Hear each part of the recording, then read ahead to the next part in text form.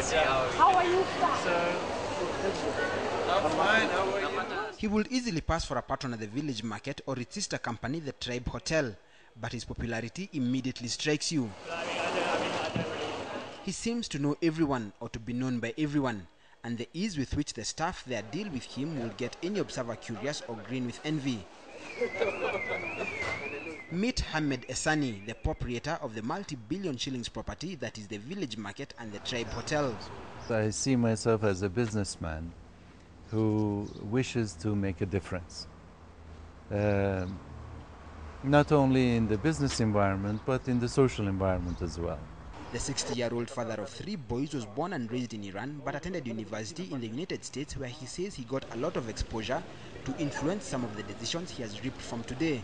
His father was a man of means, a wealthy businessman dealing in industrial chemicals. While Hamed was born with a silver spoon in his mouth, it has not always been so. He says he has had to build his empire from scratch. Due to religious differences, uh, as the wealth that was accumulated in Iran by uh, the family was confiscated. And so for us, Kenya was a new beginning. He's talking about the Islamic Revolution of 1979 that saw Iran's monarchy under Shah Mohammad Pahlavi overthrown by Ayatollah Khomeini. His family, appearing to be on the wrong side of the revolution, had to seek livelihoods outside Iran for security reasons. Fortunately, Hamed and his brothers had completed university education and were already in employment. They landed in Kenya in 1980 completely by chance, having passed through the country on their way to Australia. And we fell in love with the country and the people, and we stayed. With his brother Miraz Ehsani, an architect, they decided to start life here as according to them the country was fertile ground for their ambition. This was born uh, on a day trip to Limuru with my brothers. We were coming back.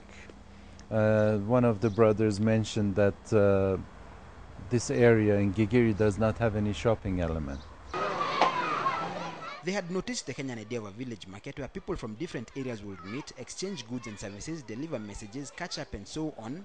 But having been exposed to the Western world through their education, wanted it to have a modern touch. We managed to secure a loan at the bank at the time. The whole project at that time was 69 million shillings.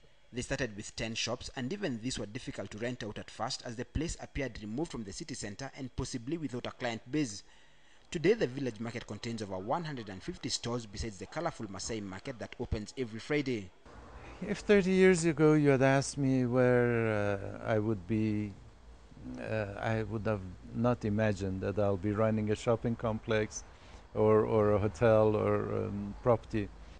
Out of his life's lessons, one he holds dearly is appreciation of people, as he says that without this he will not have achieved much. You know, when you set yourself above others uh, and you're out of reach, it creates major problems. When you bring yourself to the level of others and even lower, and if, you know, it takes a lot of spiritual discipline to consider yourself lower, that is when good things happen. Because humility has its fruits. He recently completed the Tribe Hotel and says that he already has requests from heads of some African countries to set up a similar hotel in their countries and says that Tribe could soon be a pan-African brand. Some discussion are advanced and says that it is only a matter of time before you find the Tribe Hotel in your next African destination. On the village market, he says that the plan is to replicate the same in some counties in the country, but it has not come easy. Uh, don't uh, look for get rich quick uh, ideas. Mm, they happen in the movies, but in real life, nothing takes the place of hard work and honest work. He says that he is not driven by money, but the need to make a difference in people's lives. It's ego and individualism that creates problems. If uh, when you start looking at everything for yourself and nobody else, uh, when you start uh, seeing the world there just for you, uh, is when problems arise. You know, then you get into conflict, family or with with, with others.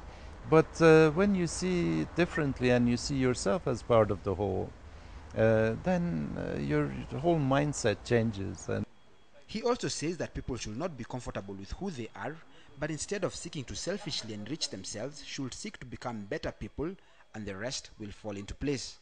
Samuel Kantai, KTN Sunday Night Live.